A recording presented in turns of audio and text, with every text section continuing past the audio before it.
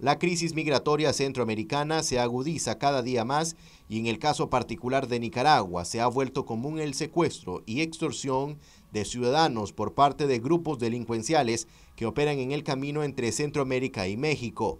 Una vez que estos migrantes irregulares caen en esas redes, digamos, la familia de origen, que es pobrísima, porque si no, no se hubieran ido, tienen que hacer milagros para poder pagarle a los secuestradores. Y esto es una situación insostenible, porque la gente no tiene dinero.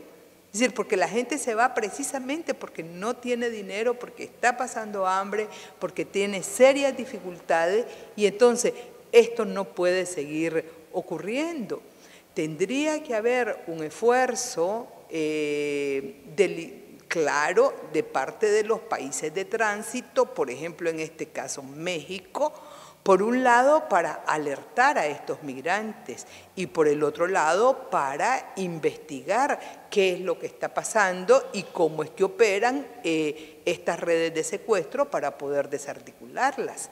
Porque de lo contrario, esta situación es insostenible. La gente que se queda, eh, las familias que se quedan en, Nicaragua, ¿de dónde van a sacar eh, miles de dólares? si son gente pobrísima. Y además no puede ser que emigrar signifique que quienes se quedan aquí tengan que vender su, su, casita o las dos vaquitas que tienen para poder pagarle a los secuestradores eh, para que liberen a los familiares.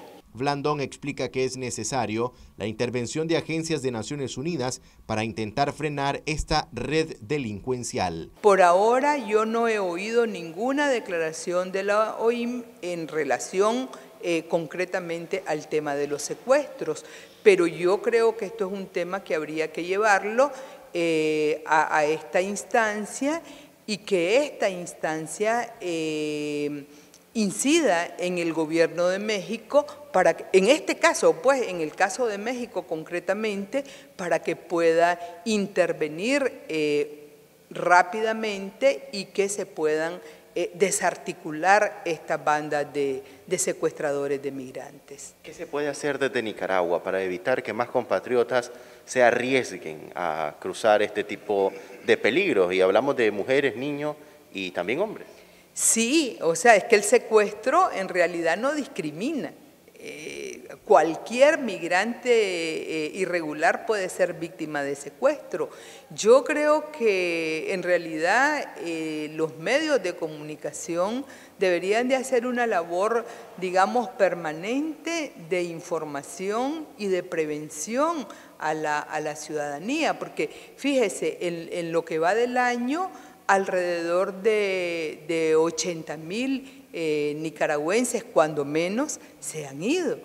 Eh, y algunos han logrado pasar a los Estados Unidos, eh, aunque la mayoría han sido retornados. Marcos Medina, Noticias 12.